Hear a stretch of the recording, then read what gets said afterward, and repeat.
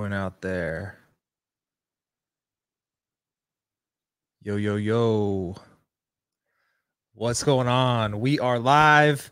If you're watching this, then you probably know by now that the last video just went out yesterday uh, about Travis Walton. And honestly, it's one of those cases where I know it so well because I, as I said in the video, I had met Travis Walton once at a restaurant in Phoenix, Arizona.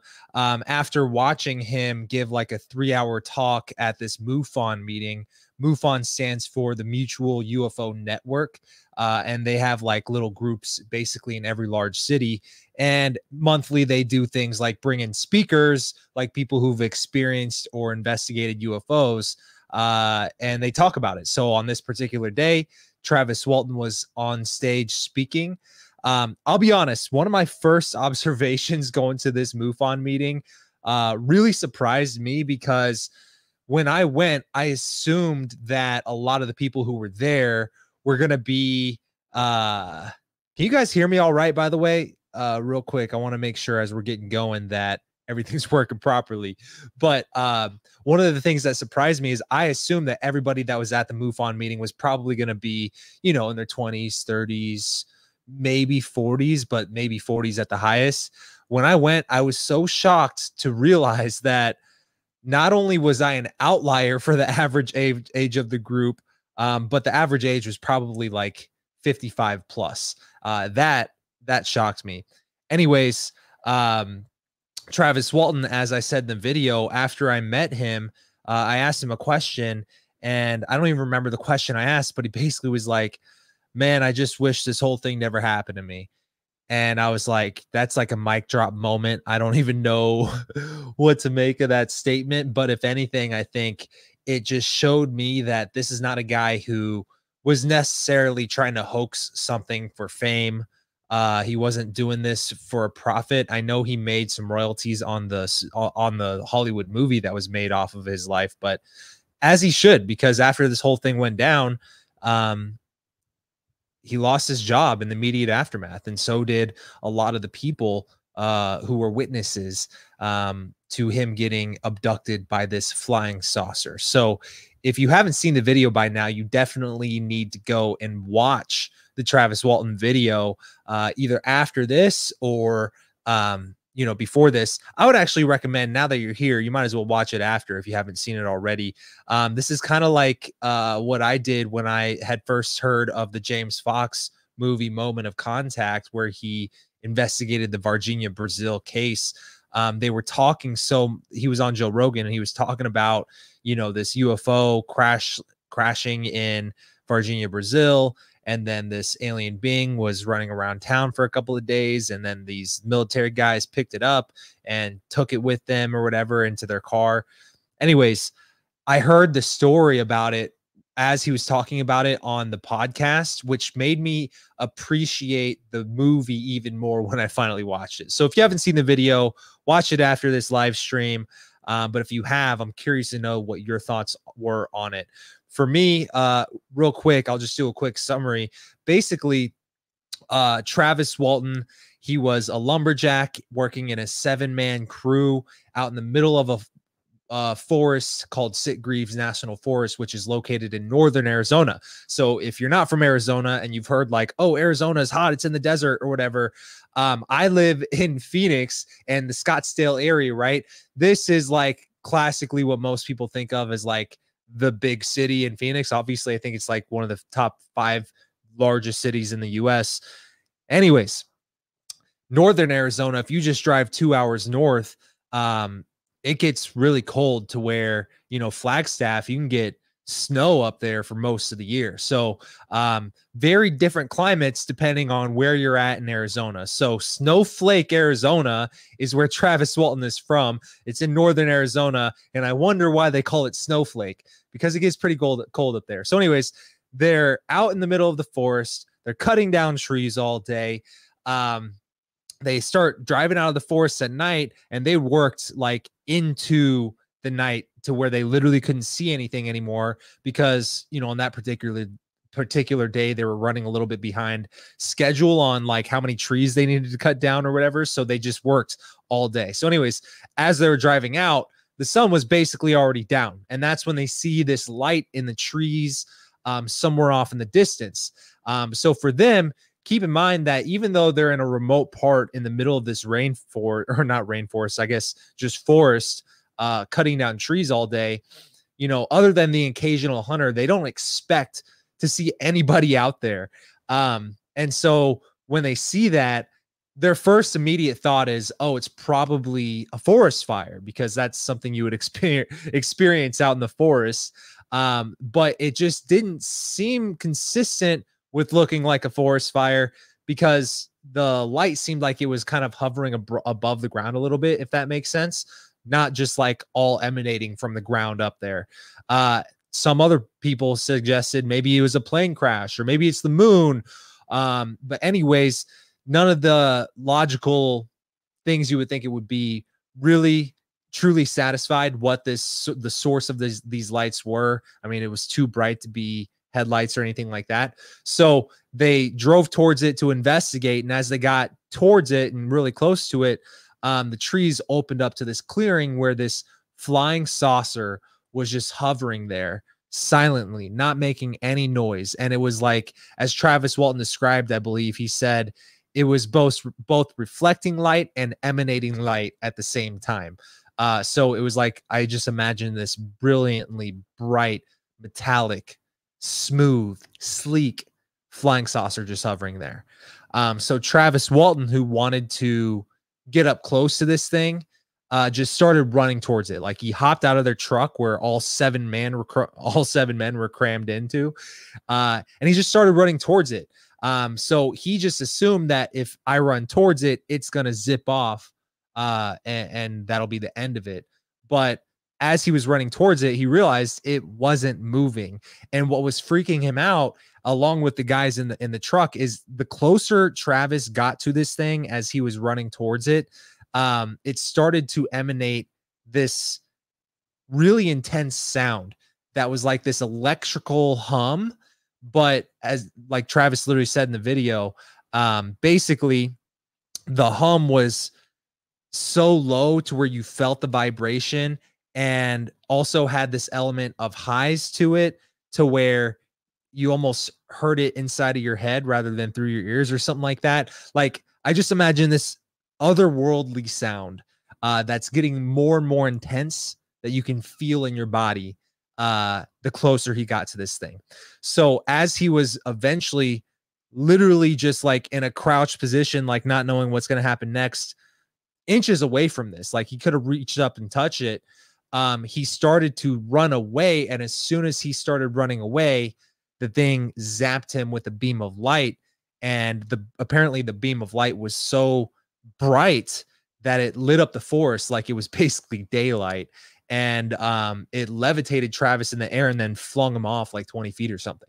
So, understandably, there's a lot to process there. If you're just a dude watching this whole thing go down with one of your coworkers as you guys are driving out of the tr- truck and this dude fucking jumped out of the out of the truck and started running towards it, it's like, dude, get back here. And so, um, if you're just like a guy who maybe works with Travis but doesn't really know him that well, it's like, holy shit, let's get out of here right now. Um, so that's exactly what they did. They peeled off in the truck, they started driving away. Um, and eventually, once they, you know, got maybe a mile or two away, their senses kicked in and they were like, we can't just leave Travis there if he's still out there. They assumed like his since he was flung off that this thing just like zapped him and killed him and his body was laying there. And so they're like, we got to go back and we got to get Travis. Uh, doesn't matter what happened to him. We can't just leave him there. Cause if there was a chance that he was still alive, um, if, if the, the blast from this beam didn't kill him, then the hypothermia definitely would have. So uh, they went back expecting to find Travis, uh, but much to their surprise, not only was the flying saucer gone, but also Travis's body was too. Um, so that's where the plot thickens because now you got to put yourself in their shoes. It's like, okay, did we just watch our friend get killed? And if he did, Did they take his body? Did he get vaporized? Like, what the hell happened to him? And so they go into town, Snowflake, Arizona, uh, and they tell the local sheriff. And I'm assuming this is like a really small town. So the local sheriff is probably someone who maybe they indirectly knew just because they were all living in this tiny town. Um, so they go to the sh- tell the sheriff what's going on. I mean, how do you even begin to explain what happened to a police officer who you don't even know if he's going to believe in UFOs or not? And so when they tell him the story, they all have the same story. Um, the police officer could clearly tell that they were all shaken up by something. So something very traumatic happened to all of them, but he didn't quite know what it was. So he thought maybe they were on drugs. He thought maybe uh, maybe they hurt Travis and left him for dead. Maybe they conspired to kill Travis. Um, either way, he started treating it immediately like a, a missing persons investigation, um, not necessarily taking their story at face value. Um, so they had a search party. They went out, they looked for Travis. Um, nothing. They didn't find any DNA a fucking shoe, a fingerprint, or I don't know that you'd find fingerprints in the forest, but uh, you know, nothing, not a footprint or anything. And so um they were really confused. They were baffled. They had dogs and everything sniffing. Um, and it really led to nothing. And so not knowing what to do, the police officer, the sheriff, obviously wanted to get to the bottom of it. So he was basically like, yo, um, if you guys are telling the truth, then I want you guys to go undergo a lie detector test to prove it. And so they did. They all passed the lie detector test. I'm making this a, brief summary of the story.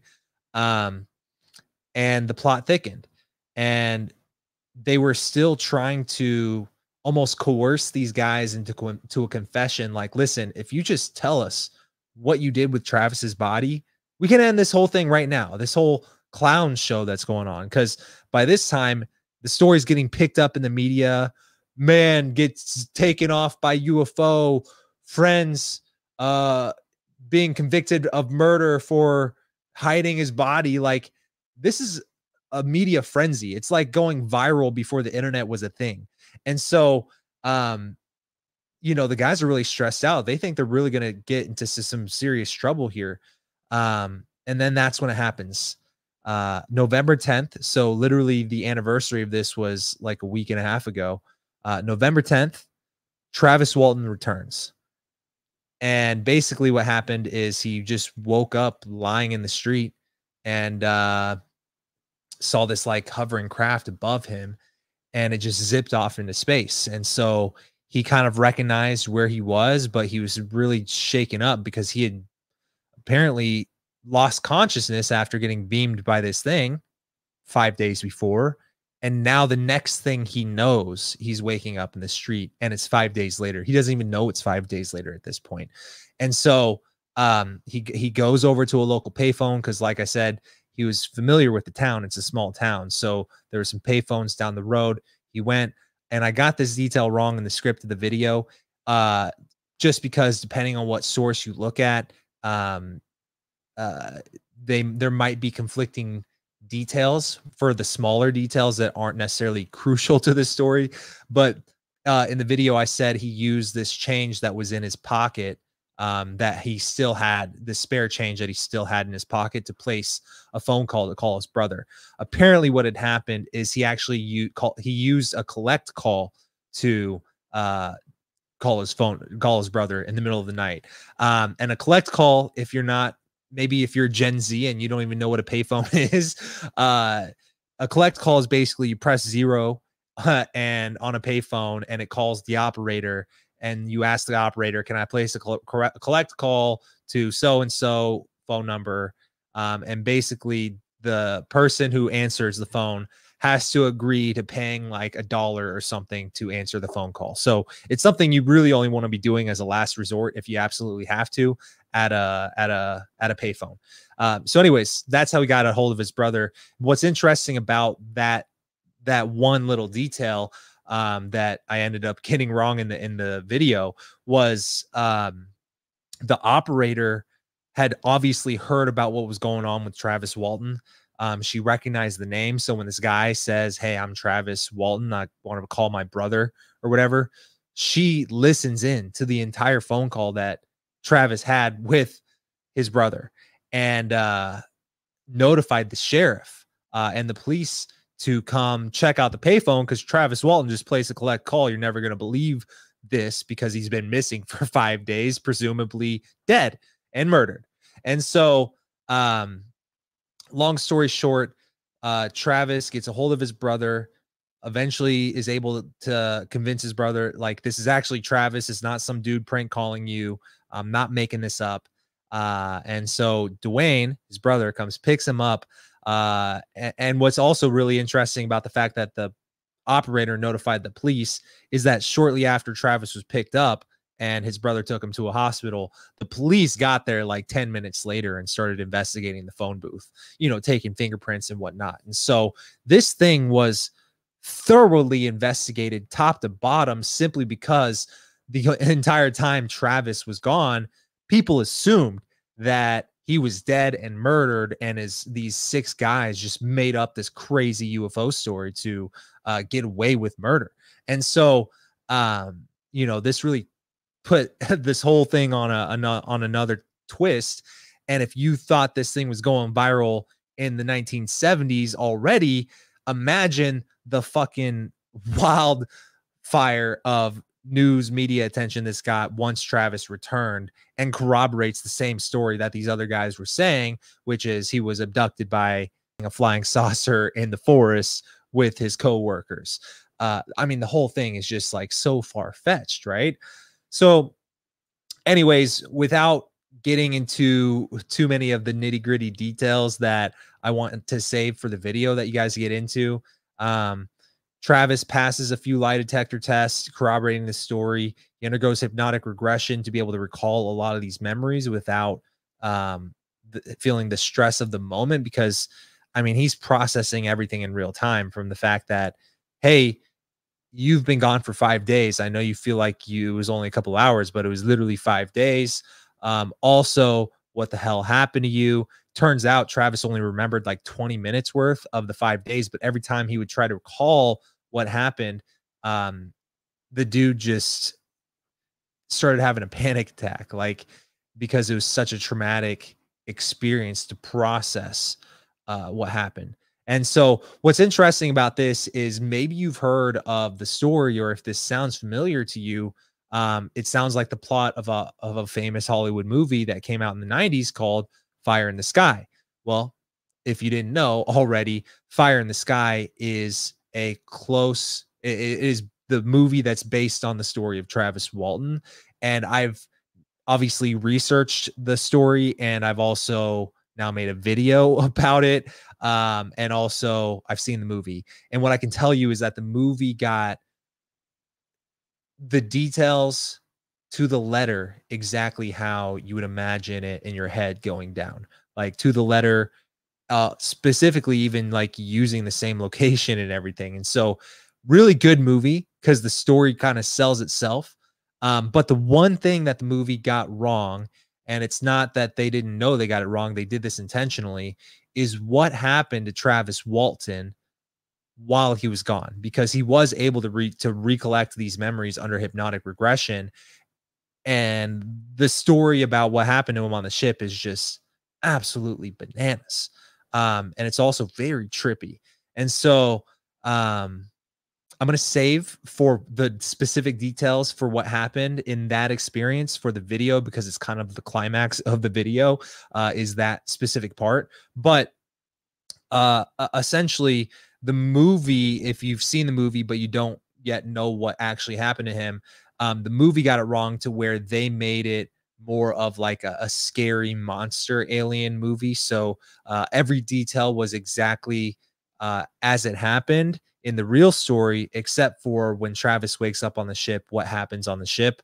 Uh, the movie just, in my opinion, it didn't even work. You know, I think it would have been even better if they closely modeled what happened to him on the ship.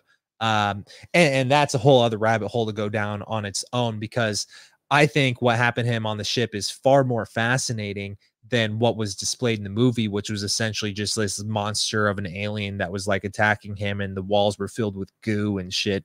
Uh, what actually happened on on the ship, I think, would have been far more fascinating from a, a movie standpoint. Um, but you, you got to think, you know, Hollywood has been, especially like Close Encounters of the Third Kind, uh, is one of those first movies that was like the number one movie that was essentially based on a lot of Project Blue Book uh, files and cases, uh, and they actually got these government blue book people like J. Allen Hynek to come and consult on the movie and everything. And so the government has had a hand, at least in my opinion, uh, due to different connections and, and people coming out and saying these connections. Um, they've had a hand at almost like a slow release of information regarding UFOs and some of the reality around it, but also because of that, they have the ability to hide little details that may be important if true. And so you almost wonder why would they take such a, a weird twist in the movie to where the one thing they change is pr- arguably the most fascinating part of the story?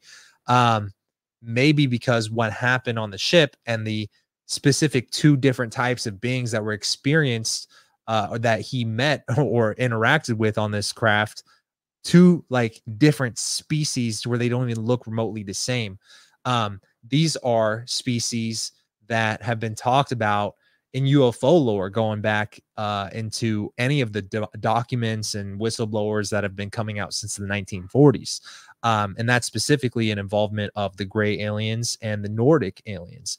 And so uh, I would almost assume that if we think that the government has a hand in crafting the narrative that mainstream movies and entertainment are, are able to put out regarding this stuff maybe there's an element of that that they wanted to keep secret for potentially national national security purposes um, and i only say that because if you've seen my antarctica video um, i believe it's the antarctica one where it talks about nazis uh, essentially reverse engineering uh, crash flying saucer uh, also uh, through other occult means um, be, being able to uh, essentially, you know, get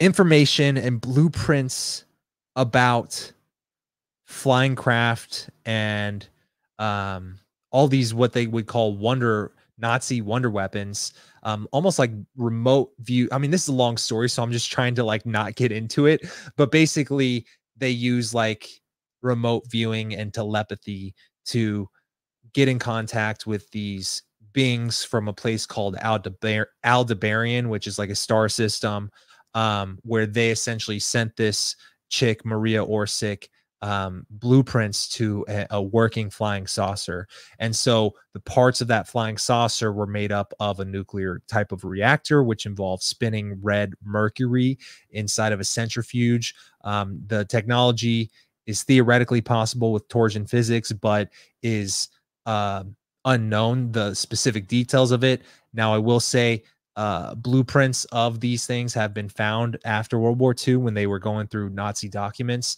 Um, so that's where a lot of these ideas come from. But something called Die which is German for the bell, um, was like an acorn shaped thing that was thought to be like the the the propulsion source for these uh, flying saucers, which they called Haunebu craft. Anyways, this is all along the the UFO lore of basically Nazis escaping the end of World War II, getting away, fleeing to South uh, South America, uh, but also to uh, Antarctica. Um, and if you really follow the legend behind that line of history, uh, essentially what people believe is that Antarctica was used as a base that the Nazis had created. And because of their far superior flying craft, they eventually figured out how to weaponize them. And then you look into things like uh, or Operation High Jump, where a whole f- military fleet from America went down to Antarctica, essentially came back with their tail between their legs, having lost half, like a bunch of their men and a bunch of their uh, ships and craft because of these flying saucers that can fly pole to pole with incredible speed, basically attacks them. Um, So a lot of people think those were the Nazis, not necessarily aliens. And, you know, it, because of the secrecy of around Antarctica altogether, um, that's what leads to a lot of people really starting to believe this stuff. Well, like I said, if you follow that line of thinking down, uh, the Nazis use that as a jumping point to go to um, basically the moon, to Mars. Not saying I believe any of this, but I'm just telling you the story going to Mars and essentially having a secret space force, which is which is basically them joining forces with the advanced uh, reptilians or whatever uh, and having fleets of people out in space just doing space missions like Star Troopers type shit. And uh, what really gets fascinating about about maybe evidence that would corroborate a secret space force existing is when you look into another one of my earliest videos about uh, fuck what was his name the guy who hacked uh, NASA and found evidence and photos of a secret space force. He found a list of names of uh uh basically off-planet officers. Like what the hell? And he's been fighting a legal battle where basically they're trying to extradite they tried to extradite him to the US so they could lock him up and silence this guy um, and he fought that and was not extradited um, so lots of interesting connections uh, I kind of went off on a long tangent. Again, I told you this is why I did not want to go off on the tangent of Nazi Wonder Woman Wonder weapons because I would have gotten off, to- off topic with the Travis Walton story. Um, but basically, yeah, Travis Walton story, very fascinating. So if you haven't seen the video, make sure you check it out after this live stream. But uh, let me check out some of the comments because I've seen them rolling in a little bit. Uh, let's see. Roman, Hi from Tampa. Uh, all right. I would love to hear more about the holographic map of the stars Travis came across that activated when he placed his hands on the controls. That would be amazing to see the rendi- rendition of. Um, yeah. So I didn't really get into the details of that specific detail uh, too much in the video. Uh, I might have briefly glazed over it, but basically, while he was on the ship, he uh, eventually like walked into this room because he was trying to like get out of this thing when he eventually came to um and he could see if you remember from the video there was like this scene where you just saw these stars so it's almost like the walls of this thing were transparent like it was all a window that was like a one way window right? So he could tell that they were in space because he could see all these stars around him and he didn't know if it was like him actually looking at the stars or if it was like as you said like a holographic projection because uh, essentially everything looks so alien so foreign while he was in there. It was hard to make sense of any of it but you know it had the basics like oh that's clearly a table like oh the, those are clearly some controls and buttons over there right and so he goes over and starts fucking with some of these controls thinking like maybe it'll open a door for him to like get out of this thing and go home or something and uh because at this point he still is trying to figure out what's going on. Like there's a part of him that thinks he might just be in the hospital and he's like tripping balls or something, right? So basically he um puts his hands on these controls and as soon as he started ma- manipulating them he could see this like the stars like all rotating really quickly so it's almost like he was either rotating this holographic pro- projection of these stars or they were physically just zipping around space that fast if he was like manipulating with the driver's seat controls. Um, it's unknown and i don't even think he knew so the source of that part of the story is obviously from travis walton's recollection of everything but um you know i don't think this is something he necessarily studied and was like trying to learn how it works in the moment given that he'd just been struck by a bright beam of light was feeling weak was probably in a lot of pain, was still coming into consciousness, uh, met these freaking weird beings. There's a lot going on. So I, I, think some of the little details you can understand he probably didn't make note of. uh, like when I turned it this way, it did this. And I noticed that this button does this. There's probably none of that. Right. And so um, that's all I know about that. Uh, you know, but I think, I think unfortunately, like fortunately and unfortunately, Travis Walton one, to my knowledge, is still alive to this day. Uh, seemingly doing well for for his age. Obviously, I think he's in his 80s or something, or close to it at least.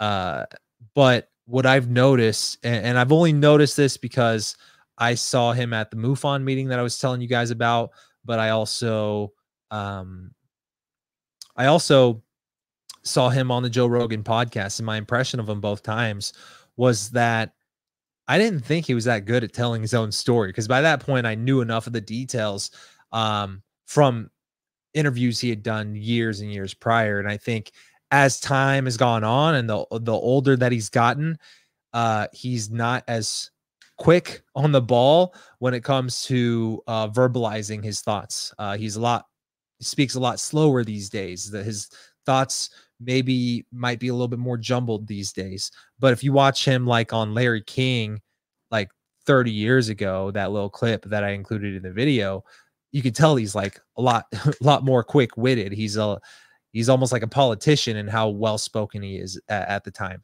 And so um fortunately that he's still alive unfortunately that his recollection of everything even today is probably you know all these years later uh, is probably going to you're probably going to start losing a lot of some of the finer details that he might have remembered 30 years ago uh, like hey what when you picked up this thing like what did it look like what was it like could you tell what it was because he picked up some random object and started swinging it at these beings trying to fend them off like he he might not remember all the little details like that. Like what was what did it feel like? How how big was it approximately? Could you tell what it was made of?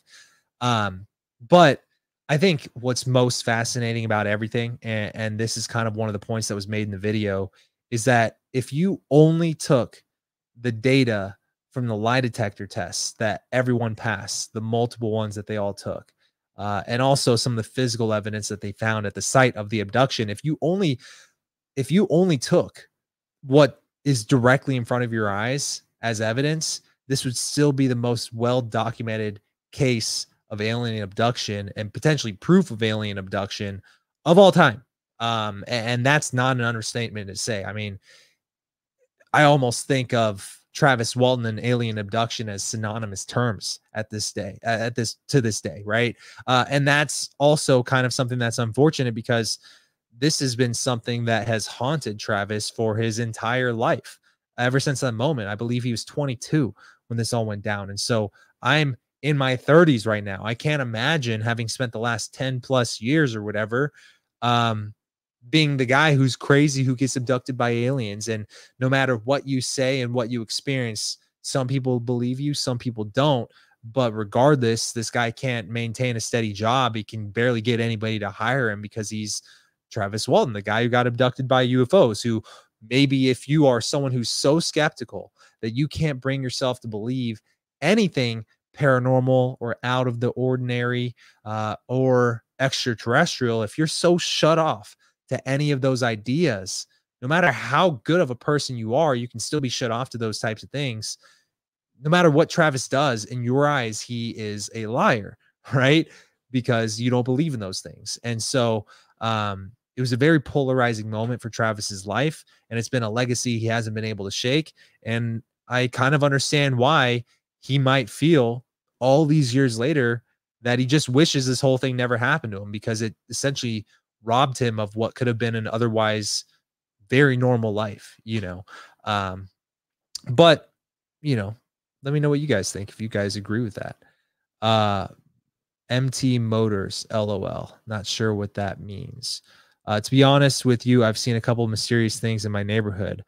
Uh, where's your neighborhood located? Like, I don't need an actual address, but like, are you in upstate New York? Are you in Brazil? Are you in the UK? Like, where are you? And uh, what have you seen? And I think this also goes into where maybe some of my skepticism comes out because whenever someone tells me if that they've seen a, a UFO, which surprisingly happens more often to me in the last six to eight months than uh, probably ever in my life, where I've probably met like at least five different people who have adamantly claimed that they've seen a UFO. And this is a this is just a point that I made uh, on my last live stream, which is okay, if I'm really being logical about this, because I mean, if you talk to the majority of people in your life, guarantee none of them have seen a UFO, right? So you got to take that as like, okay, what is the probability of someone actually seeing a UFO? For every hundred people, what's the probability that at least one of them has seen a UFO? I would I would say if you I would say my guess is that maybe one out of 5,000 people have genuinely seen a UFO. Now, if you take a large city or something, that's obviously like a, a decent handful of people. But that also tells you that ha- have I actually met 5,000 people? And, and this is all just a guess, right? Have I actually met 5,000 people in the last six months? No, I haven't. Nowhere close, right? So, of how many people have I met in the last five, six months? I don't know, maybe two, 300 if we're being genuine, like generous. But uh what are the chances that I meet five, six people out of two or three hundred who have adamantly claimed that, that they've seen a UFO and they're all being truthful? I think in, in a group of that size, the chances are at least one of them is making it up, or at least one of them saw something that maybe they couldn't explain, but doesn't necessarily mean it was extraterrestrial. That makes sense. So this is where I start to play the game of probability in my head um, and it's all just a matter of opinion because the probability in my head is based off the fact that prior to maybe six months ago, when people realized I had a, a channel about this, I had never met people or that many people who had really genuinely seen a UFO. Most people that I have talked to prior to uh, starting this YouTube channel kind of like zone out and lose interest when you bring it up because you they almost think that you know you're crazy or something if you bring up UFOs or something like that. And uh you know, so I'm just playing the probability game here. Not to say that I don't believe in UFOs. Obviously, I believe I believe in UFOs, or I wouldn't have uh, made as many videos about it as I have. Uh, but I've never seen one. Right? I'm just looking at the evidence, and more importantly, I'm conveying the stories that I find very intriguing and interesting. You know, and and I think that's if we're just talking about the YouTube channel for a second, probably the one thing that I value the most about this YouTube channel is that um, the way I've kind of, I guess, branded it, and even the intentional way that I've not necessarily only done videos about UFO sightings or only done videos about, uh, you know, leaked documents or whatever. I've done a handful of videos on, you know, a variety of different things. That's intentional because I think what's most important to me or something I guess just that I enjoy most about this YouTube channel is that these are just stories that I find mind blowing, right? Kind of very fitting for the name uh, of the channel, right? So if I find these stories mind blowing or if I find them very fascinating for one reason or another, it's something that I would like to convey, right? And so that doesn't mean that I want to do every video about UFOs. It just happens to be one of those things that, as of today, is a very trending topic because a lot of new information is coming out about it. But also, there's so many fascinating stories within the UFO phenomenon. Um, and I think one of the most fascinating things about the UFO phenomenon to me is that if you look into it, the more you look into it, the more you realize that it kind of tries to take credit for literally every conspiracy you've ever heard of. I promise you, there are people or pockets of the internet who believe every conspiracy you've ever heard of is connected to UFOs somehow. And they probably can point out very compelling stories and reasons and anecdotes and pieces of evidence connecting all these theories to UFOs. And that's what's the most fascinating thing about it you know um i was actually just listening to dave Grusch on joe rogan's podcast prior to me starting this live stream. If you haven't heard it i think it just came out today. Uh finally joe rogan had david Grusch on his podcast. And one of the things that dave Grusch kind of admitted that he believes is the fact that he thinks extraterrestrials created or accelerated evolution of uh, Homo sapien to create the intelligent beings that we are today. And they kind of started talking about that. Joe was talking about how, you know, that makes sense because there's nothing like us. Like he, like it, they actually have started to realize that it seems like the the apes to, as of today have just entered the stone age because they're starting to use tools and spears and stuff uh, for their everyday uses uh, and that's something that's fascinating because it kind of shows that they're evolving at least consciously to some degree uh, and, and so the fact that we are so different and so accelerated in that evolution um, it was a fascinating part of the conversation right? But bringing it back to how everything may or may not be connected to UFOs, I mean, if that is actually legitimately true, and it's also something that ironically was hit on very brief briefly in my video about uh nukes and UFOs um a couple of videos ago. At the end of that video, um I show an interview with Linda Moulton Howe uh, an investigative reporter from Time Files or something like that. Uh, I don't remember her exact website, but um, she basically was shown this document that was confirmed to have been a real document, but also potentially had disinformation spread throughout it. Um, one of the details was that humans were created as a genetic experiment by extraterrestrials. Um, and, and so that's that's fascinating and so you know if if that's if that's true then it would make sense why every conspiracy may tie back to the UFO conspiracy because um you know that's the source of everything right? If if the aliens created humans. And i don't even know that i necessarily believe it but it seemed like david Grusch uh felt that of the explanations of our universe and where humans came from, it seemed to me like that was something he believes the most after whatever he may or may not have seen, right? I mean, there's a lot of people who still question the the I guess validity of his claims um given me included like i think a lot of people really question you know can we really trust what this guy is saying? Because he's not experienced seeing a ufo he's never seen any of these biologics that he claims exist.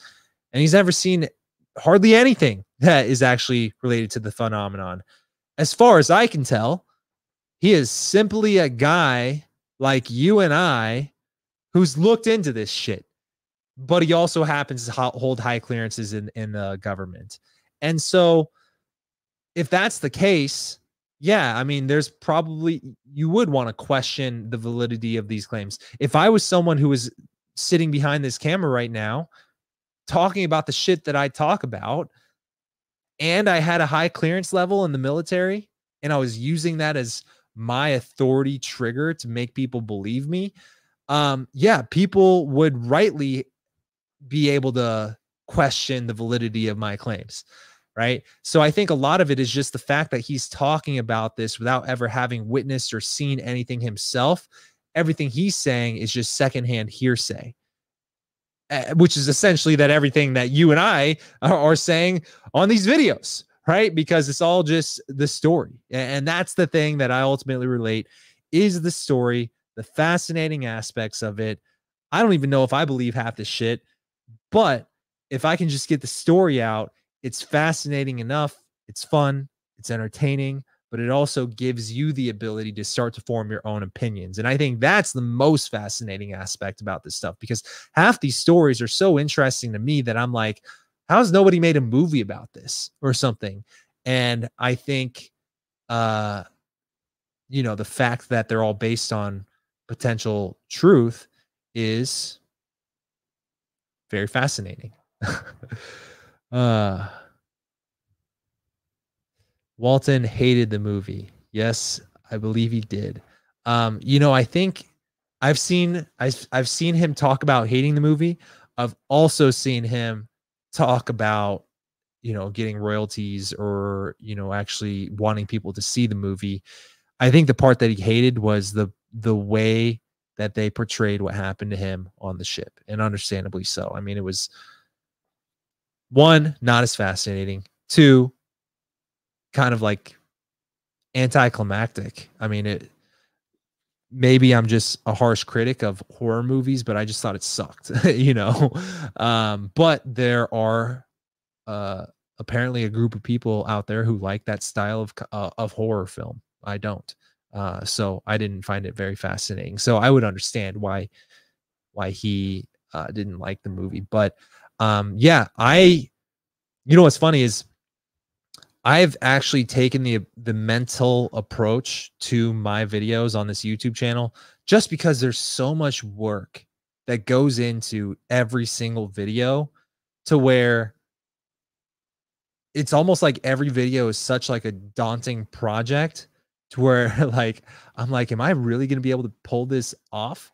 Um but because of that I think the intention I want to be felt from a viewer standpoint in every video. The attention to detail the attention to the storyline the attention to how fascinated i am with the story as i'm relaying it to you. Uh i think i almost think of my videos as like movies that i've put out. And it's like you know when when quentin tarantino releases a new film the title card on the movie says the ninth Quentin Tarantino film or whatever, right? This is like the last video I put out was like the 27th Patrick James mind fucked video. You know, like it feels like a big event to me every time I release one. Um, to where literally yesterday before this went live, I, I felt like I was like a giddy child the night before going to Disney World or something. Like I was really excited to put this out just because this has been something a video that has been being worked on for the last month. Um, and the video that comes out either next week or the week after is a video that's been being worked on for like two, three weeks, right? Uh, and so now I'm starting to hopefully get uh, on a roll with some of these videos to where we'll be able to start hitting that weekly or bi-weekly bi-weekly mark. But uh, you know, a little look behind the scenes. I mean, that's been one of the biggest challenges for most of this year and even last year uh, is that you know if you've been following my mindfucked channel from the beginning at the beginning of last year you know that first video i made in my opinion was one of the funnest videos to make on the channel uh, and it was the first one. And i think you know that video is something that it was like not that long. It was like maybe six seven minutes long or something like that. But it was something that i made in like two three days and just put out for the sake of creative fulfillment or whatever and surprisingly it received a really good reaction on social media to where my subscribers started growing almost immediately um not by tens of thousands but maybe by a hundred or 200 every time i put out a video just from people coming over from tiktok and instagram and so uh one of my goals in 2022 was everybody was like you know, in the comments because I, I, try to think about the direction of how to make these videos better every time. And so uh basically people were like, Man, I just wish your videos were longer. I wish your videos were longer. So um it really forced me to challenge myself to be like, okay, how can I put out videos that are of this nature on a consistent basis, but now make them twice as long. and what I found was um you know i got better and better at the process as i went and you know now that i'm like almost two years into the channel which makes me kind of anxious to say because i wish i would have put out maybe double the amount of videos i have but you know that kind of brings me back on track with the story which is when i tried to double the length of these videos it doubled the production time of the editing of the video but also the amount of research that went into the video to where like three, four videos in, I was like, I got to start writing these fucking scripts out because I'm going to forget all these details if I'm just going off the top of the dome. And so now I had to add writing a script to the part of the the pre-production process, and then it also doubled the the length of the editing process. And so at this point, you know, I've essentially gone all in maybe within the last few months to where I hired an editor. I'm make busting out scripts as quickly as possible uh, to where hopefully we can start having more of these uh, videos coming out on a more consistent basis that are of the length that I, I want them to be, which is around 15 to 20 minutes. And so, um, I guess for some of you who may or may not have been actually just interested, you know, that's kind of like a history of the progression of this channel. And so you'll see, like, when I eventually posted my first video this year, it was the Sphinx video. That one went wild. I mean, it took a week, but after a week, it like went crazy viral. Like, where most of my videos were averaging maybe five to 10k views that video um just like got picked up by the youtube algorithm and within the month got like hit 2 million views or whatever uh and, and that really grew the channel to what it is now but i use that as an opportunity to invest myself my time and my energy into a video i felt needed to be made but also a video I knew was going to take a lot of effort. And that was the MLK documentary that I released. Um, that video took me six months to create. It ended up not being a 20 minute video, which I should have just been like, how can I make a 20 minute version of this so I could get it out sooner? But it was almost like the more I looked into that story, the specifically the conspiracy behind who shot Martin Luther King, um, when I looked into that story, the more I looked into to it, the deeper the rabbit hole went. It, I mean, it goes so deep in, in so many fascinating directions that if you started looking into it, and if I really tried to include all of it, the video could have easily been two and a half hours instead of an hour and 16 minutes. It actually took a lot of effort to cut it down to an hour and 16 minutes from what it very well could have been.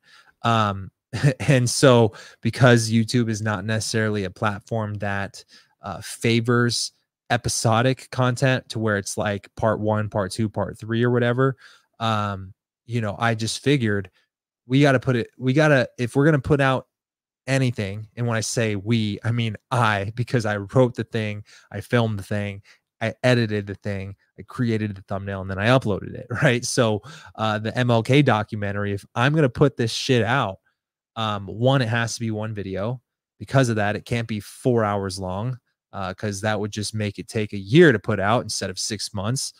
and uh, yeah, so anyways, when I put that video out, I was hoping to to leverage the success of the Sphinx video into me just taking that as an opportunity to put out a video that I'd essentially wanted to make for like two and a half years.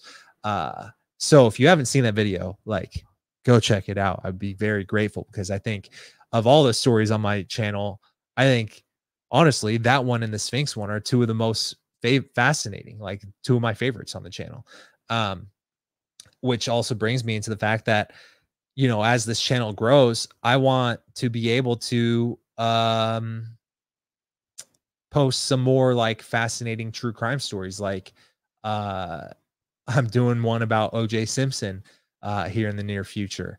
That one is also a very fascinating story because he definitely did it and uh you know all the all the crazy stuff that went down that leads me to believe that he 100% did it uh is a fascinating story in itself but it's not necessarily that's something that's related to to UFOs or necessarily the sphinx but um anyways kind of just going on off on a tangent here uh all right. MT Motors from the movie was the car dealership he went he wanted to open in movie.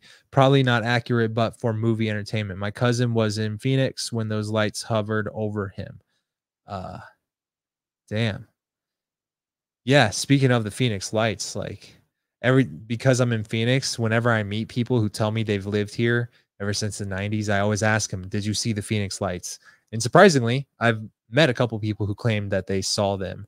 Um, but I, I still don't necessarily even know what to make the, of the Phoenix Lights myself, particularly because it was, I guess, if you're looking at the rating of close encounters of the first kind, second kind, third kind, or fourth kind, it was, although a mass sighting, only a close encounter of the first kind.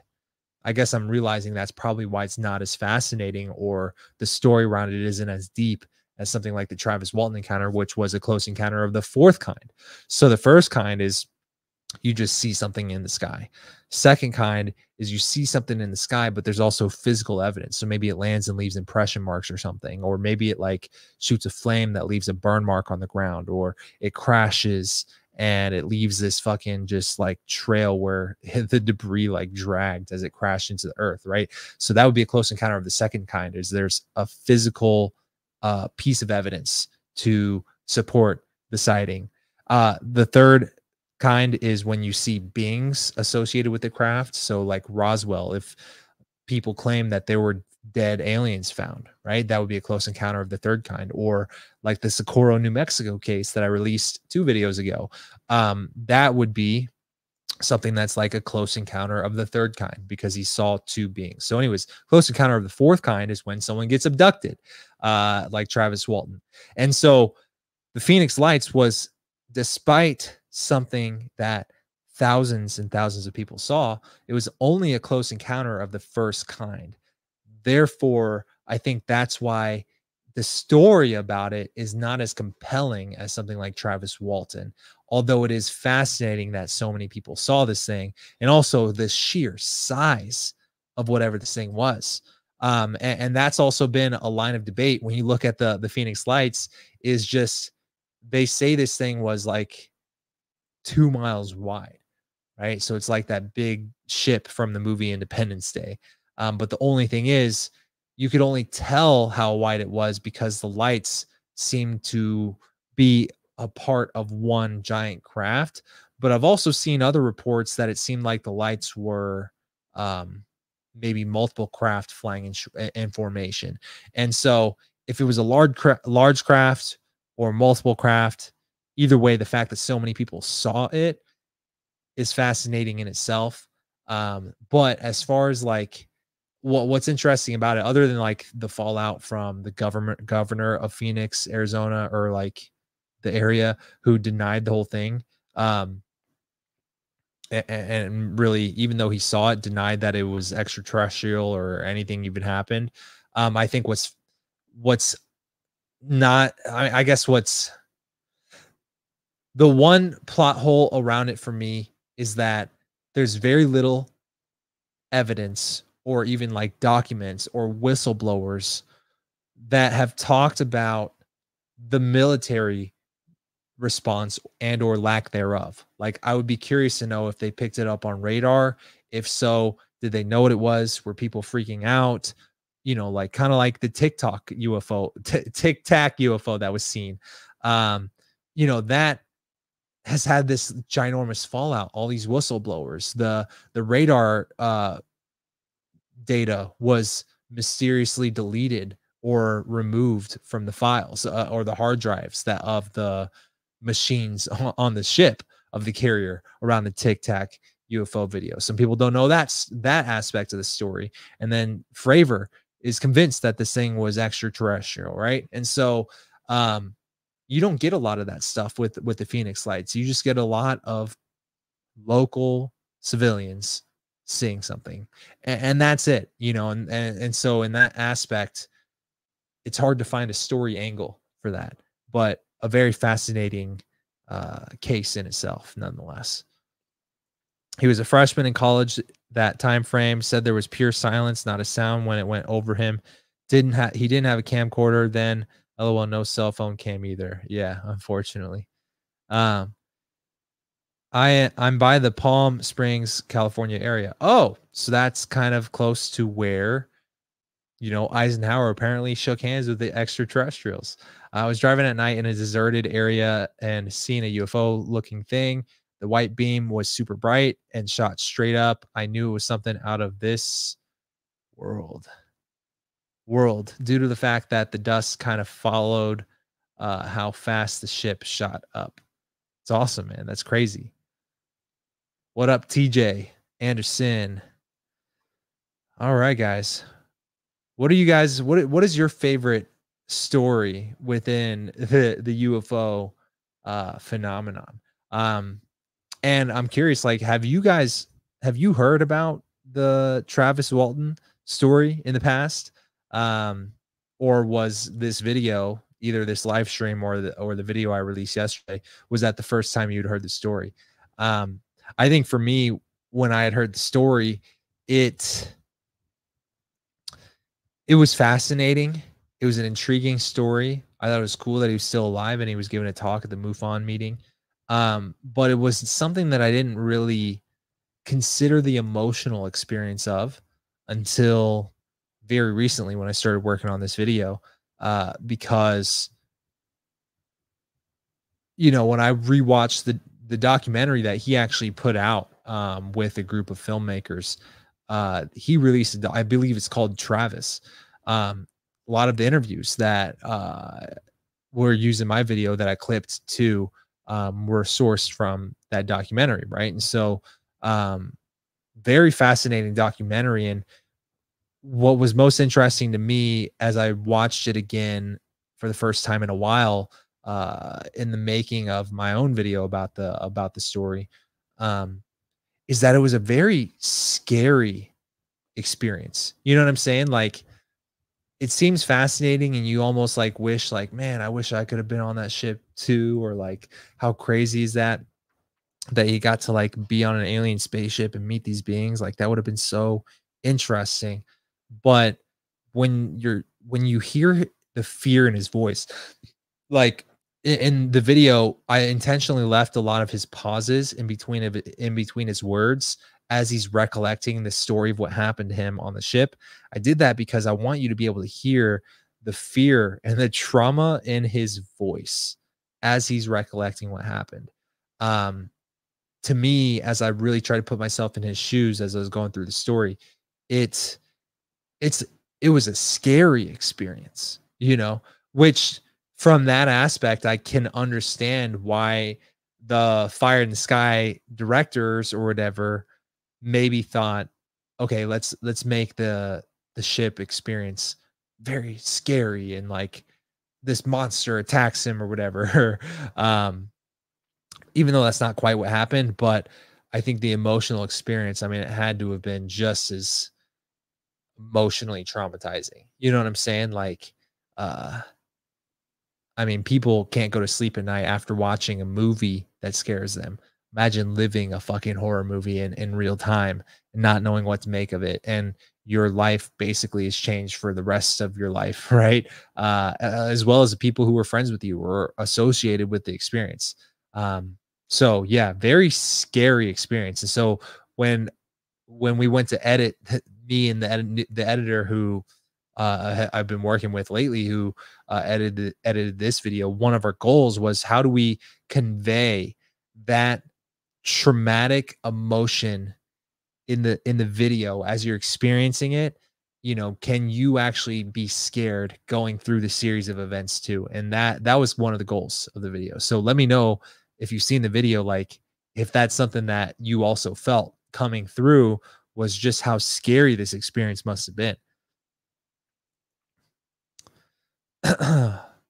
Wasn't there a movie based on his experience? Yep, that's the exact one that we, uh, I've been talking about uh, at times, and it's called Fire in the Sky. Um, it might be on Amazon Prime. Check it out. It's a really good movie. I, I recommend it. Um, especially if you've already seen my video and you understand the experience and, and you understand the actual story of what really happened.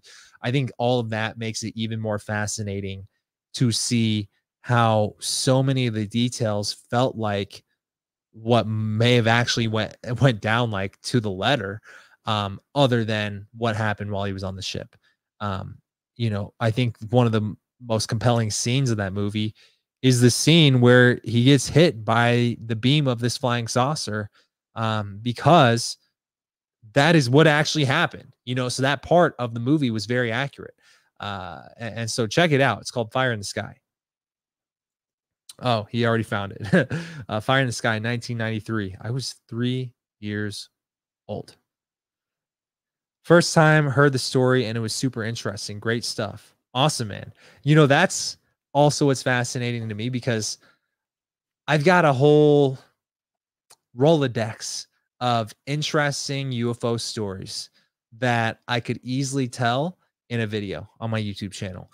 But it's almost like when I go to sit down and think, what is the next video I want to make? Uh, at this point, I already know like what at least the next two or three videos are. Um, but it's almost like there's so many fascinating ones that I overlook the best ones because I go, oh, most people have already heard about that. I don't need to make a video about that.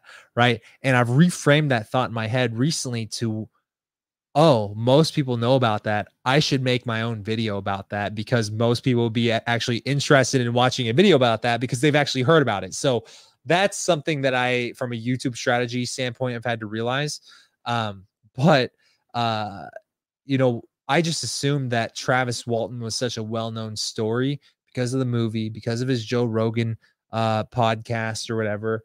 I was like, everybody already knows the story. The story's played out, like the Bob Lazar story. I assume that about the Bob Lazar story. The story's played out. Nobody needs to see another video about that, right? But I'm also equally fascinated that every time I bring up Travis Walton or Bob Lazar, nine times out of 10, the person who I bring it up to has not heard about it. And that's what fascinates me. So I put out the video assuming is still like a part of me was like uh, people have already heard this story but it's really cool to see that you have not heard the story until this video came out now you know the story and so what's cool about that is now you got the this video to watch the live stream the video that this live stream is kind of based off of to watch uh you've also got the documentary that Travis Walton put out to watch and you've also got the Hollywood movie that was put out to watch. And so you got a lot of places to dig into um, if you're interested in this story. Um, but I here's what I here's what I think is most interesting. And I told you I don't want to spoil a lot of the details about what happened to him on the craft, but the two beings that he encountered, as I said earlier, the Greys and the Nordics. So anytime you look into any people who claim they've met extraterrestrials, you know, you'll see a through line of people who say that these beings looked like these tall, lanky, long, skinny, not muscular, no sex organs, just a large almond shaped eyes and a small mouth and a big head, right? The classic gray alien being. So that's a that's a through line, that's a pattern everywhere, uh, all over the place between people who've seen claim they've seen extraterrestrials, right? So that's fascinating. Another one of those through lines that's completely separate is these Nordic beings. And the Nordic beings typically are associated with being dressed in like these blue spacesuits. Um, maybe they're wearing a helmet, maybe not, but they have bright blonde hair, bright, bright blue eyes, um, kind of like the Aryan race, which is an interesting aspect of what I was talking about earlier, which is the Nazi wonder wonder weapons that they were being that they were making, and they apparently got these weapons uh, through telepathic communication, which allowed them to like document the the blueprints of how to make these things um, from these beings from the star system Aldebaran. And if you look into that, the planet that they're from their their race of people are known as the Aryan race. So if you actually look up the origins of the Aryan race, the word that Hitler was so obsessed with, um, it's it's up for debate where the actual source of that word came from, but one of the sources is from this Maria Orsic girl who was uh, essentially the leader of one of these occult groups that the Nazi party party was made of. One of the core fundamental groups that combined with a series of other groups to make up the Nazi party, right? So this bitch who was also happened to look very Aryan herself, very beautiful woman at the time, by the way, too. Still, even by today's standards, gorgeous. Um, she was communicating with these things. She's the one who wrote down all these blueprints. And so the source of Aryan, the word, came from these beings that were apparently telepathically communicating. And so that's interesting because the Aryan features that are very Nordic in appearance. And so that's why these things are known as the Nordics. So they have bright blue hair or blonde, blonde hair, blue eyes. They look like just really good looking, regular ass people. Uh, and, and so yeah, interesting. A lot of interesting connections. And so, if there's anything to the fact that maybe the Nazis, the World War II Germans, escaped to Antarctica, have this whole spe- secret space force. We're communicating with these Aryan, ra- the Aryan race, thinking that they must have been descendants of the Aryan race, which is why they were so obsessed with it. Um, if there's any truth to that, you would understand why the government might step in and be like, hey, I don't mind if you make a story about Travis Walton getting abducted, but can you edit the Nordics out of the story just for national security purposes? I could easily see that happening. And so, uh, very, very interesting if you ask me. Um, love how NASA government has an excuse for video they've released leaked by someone that defy physics. Love the video of the UFO refueling by the sun also. Yeah, man. Um, when I was considering making this YouTube channel, um, that one video of the sun getting something, this plasma sucked out of it by a Jupiter sized spherical UFO, the size of Jupiter. Comprehend that. I think Jupiter can fit almost 2,000 planet Earths inside of it. That's how large it is. Okay. This thing was the size of Jupiter and it zipped away from the sun in an instant after instant after uh sucking plasma out of it for multiple days uh pause uh, for multiple days and zipping off in an instant and that being a leaked nasa video like actual nasa footage is what fascinated me so much about the ufo uh topic to where i was like one if you try to find that video in itself is hard to find on the internet, which means nobody's talking about it, which blows my mind because why is nobody talking about it? Which is why I had to make my video about it because it's the most fascinating UFO footage I've ever seen. Um, and NASA scientists, well, they'll they'll claim that it's a it's a magnetic bubble called a prominence and it's a very common occurrence. Blah, blah, blah, okay, that's your theory my theory is it was a spaceship refueling. All right. And until we have more evidence, uh, which seems to me like there's equal evidence for both theories, uh, potentially. Um, I'm not going to decide what it is or isn't, but I'll let you decide after seeing the video, if you know what I mean. Um, there was also one show on Netflix, Unacknowledged, that was pretty good too and really interesting. You know what's interesting about Unacknowledged? I believe that is the Steven Greer uh, show. And Steven Greer has a couple of decent documentaries out there, but um, I've met a couple of people who are active in the UFO community. Um, specifically, the the lady who's in charge of Arizona MUFON. I mean, that's pretty legit title, if you ask me. Um, she's had dinner with Steven Greer and a group of other people uh, who are like these UFO people. I've interviewed people who've been on shows like Ancient Aliens and a number of other uh, mainstream documentaries. Um, I don't think I've posted 100% of these interviews. Like I haven't posted my interview with uh, Stacy Wright, who's in charge of all of Arizona MUFON. Um, that one's just on my Patreon. Um, but I, I filmed it a couple years ago. So if I wanted to post it on my YouTube channel today, uh, I would have to go through and make sure that there's nothing that's super outdated uh, with that interview. I mean, if you would want to see that video posted, I'd be happy to post it, but I just almost wonder if it'd be too outdated to post today. Um, but, anyways, more of the story is I've met a number of people who have interacted with Steven Greer in person, and they all claim that he uh, is very arrogant narcissistic, only cares about himself, is only out for a profit.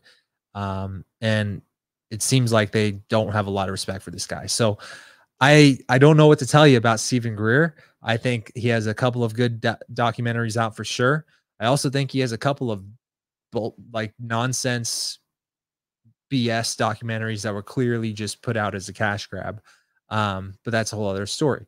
Uh, and, and so I don't know he seems legit. He seems like he knows people in the government. But uh yeah, I guess take that with a grain of salt, take it how you will. Um I don't know his true motives. I don't know if this is just a uh you know, um there's obviously incentive to putting out content around this, right? Um and so one thing that he likes to talk about is what he calls close encounter of the fifth kind, which is being able to use telepathic communication to get these UFOs to show up on command, right? And then he also charges $5,000 per person uh, to take you out and do this with you. Um, and I've talked to people who have done that and they say something weird happens, but they can't see it, tell if it's aliens or not um, which leads me to believe it could all just be one big circus show with that guy. Who the fuck knows? So, um, yeah, that's all I'll say about that. Uh, that's insane. Makes the Death Star look like a golf ball. Yeah. You know what's interesting about the Death Star? Um, and I want to do a video about this in the future. Um, but the video would be kind of similar to my moon video, where it's not necessarily an alien or UFO video, but more uh mind blowing and intriguing objects in space. Uh, and one of those is a moon of Jupiter that I believe is different from the moon that of Mars Phobos that has a big uh, monolith on it that Buzz Aldrin has talked about. Um, you need to refer to uh, my video about the UFO on Mars for more information about that. But um, I almost forget I made that video. That's a great video too.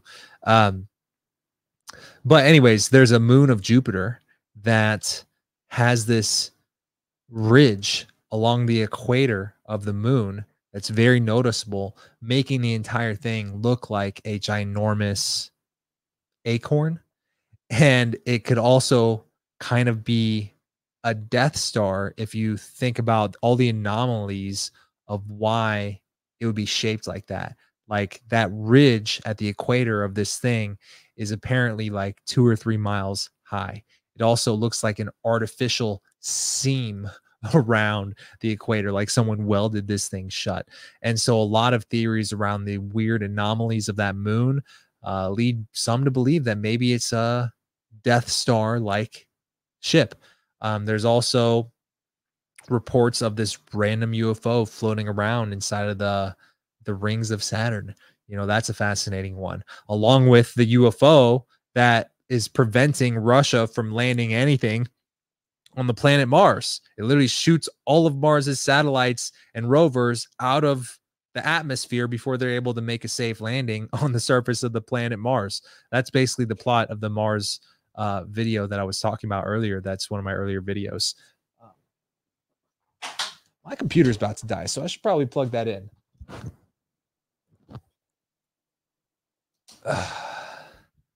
Glad I noticed that.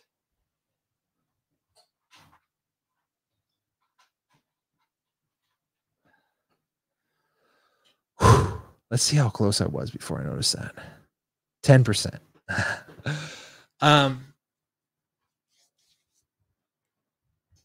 So yeah, uh, but also if you watch the moon video, the moon might be a Death Star in itself.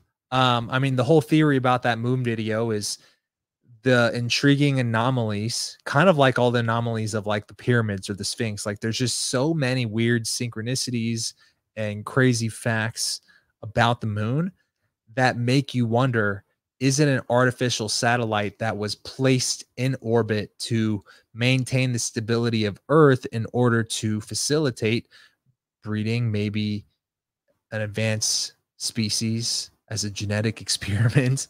Uh, you know, there's there's a lot of interesting theories around that. Uh, again, I don't know what to make of any of it, but one of my goals with the moon video was to make you guys feel how I feel which is now knowing what I know about the moon. I can't not look at the moon and wonder is this just a Death Star?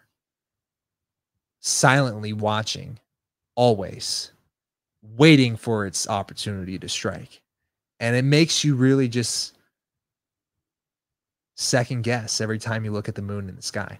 And my goal when I started editing that video was to make everybody who watches that video second guess the moon every time they look in the sky. And if and if you if I've allowed you to be able to do that, uh then that video will have succeeded. And there's a re I mean, that intention going into that video is probably why it blew up on social media. Like on my YouTube channel, I think it has 90k views, but that is light work compared to what it did on TikTok and Instagram. On TikTok, I believe it did close to 10 million views. Um, and on Instagram, I believe it did 4 million views. So, uh, crazy, crazy video. And I think my video coming out, if not next week, then definitely the week after. I think we're probably about seven to 10 days out from this next video being posted. Uh, assuming that Thanksgiving is not a major distraction. Um, I think that video has another. I don't want to. I don't want to spoil the, the. You know what? Fuck it. It's about the Great Pyramid of Giza. I think that video has the potential to be equally as mind blowing. So um, that's something to look forward to. All right. Didn't they say the moon dings like a bell? Really, why take this long to go back, etc.? Exactly. You know, I don't know the entire details around. I mean, there's a lot of conspiracies around what caused the Apollo uh, missions to end.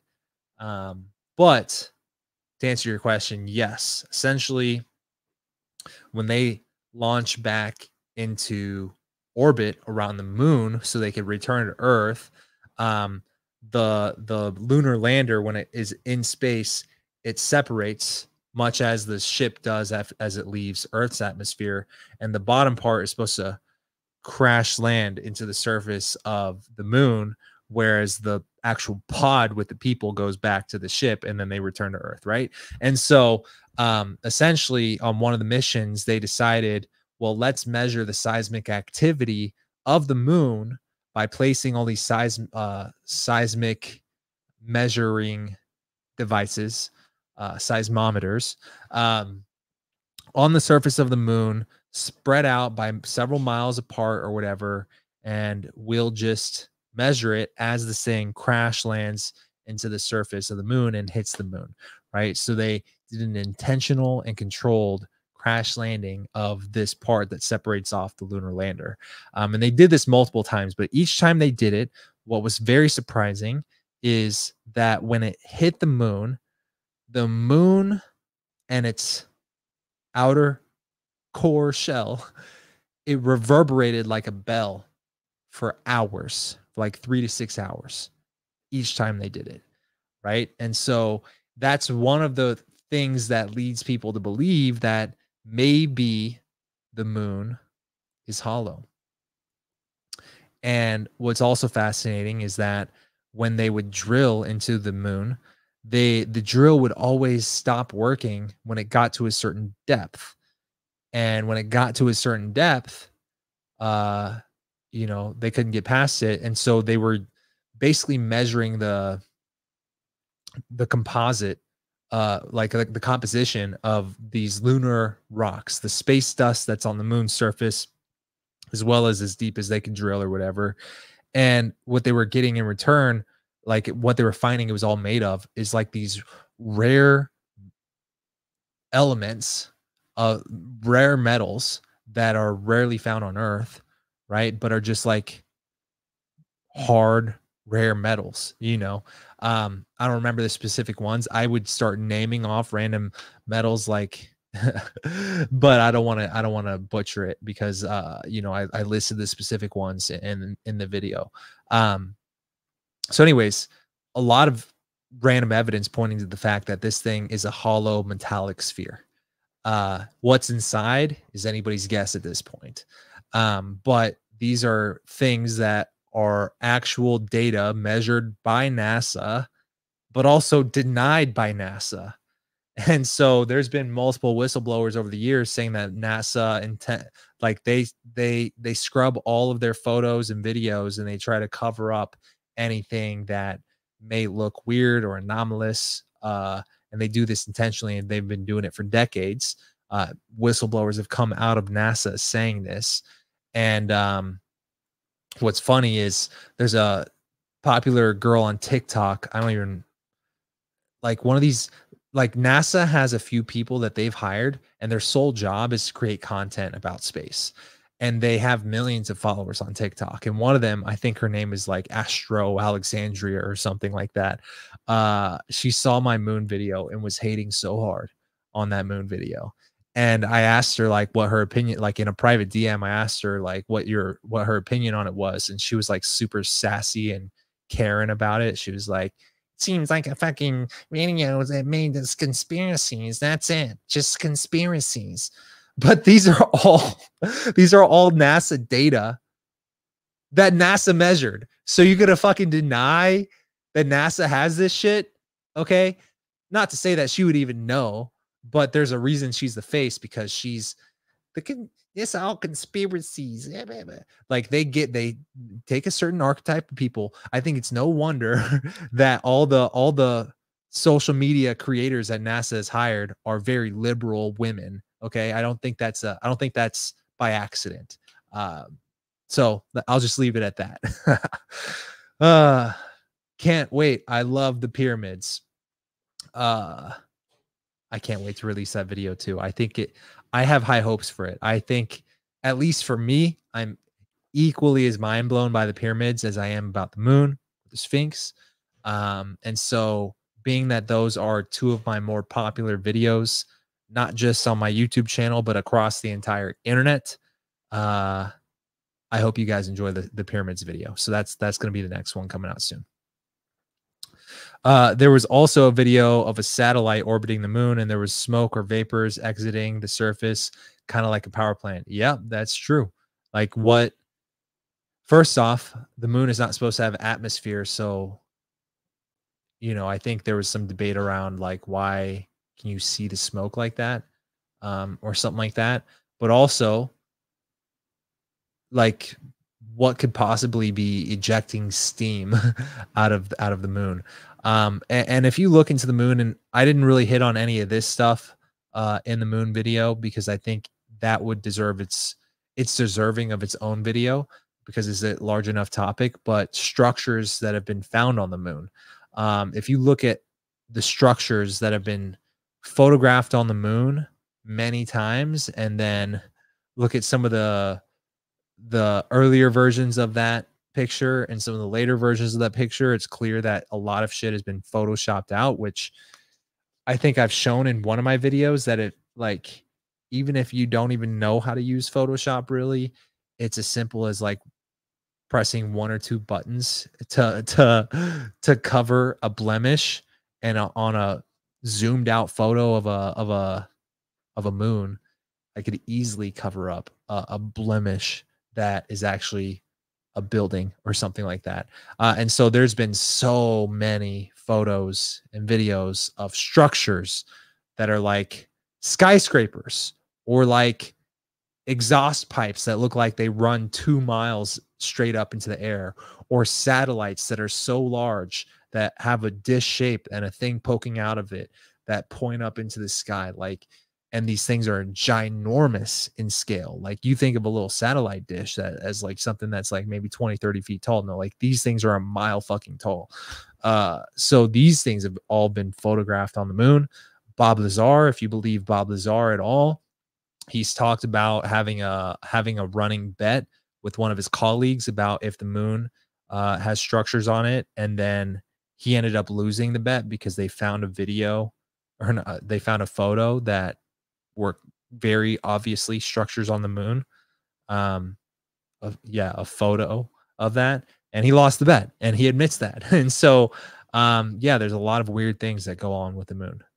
Um, but anyways, guys, I've been going live for an hour and a half. I'm not sure if you can tell that my voice is like I'm pretty tired, uh, and it's just a reflection of how much work I've been doing behind the scenes uh the last week or two and so even yesterday releasing this video i couldn't even go live yesterday after releasing the video because i was so exhausted and so uh yeah i'm a little bit lower energy today but hopefully this was enjoying to you guys. Um, and like I said, every time I post a video, which hopefully is going to start being literally a lot more consistent, hopefully every one or two weeks at this point, um, uh, we're going to be going live after all of that. So um, enjoy.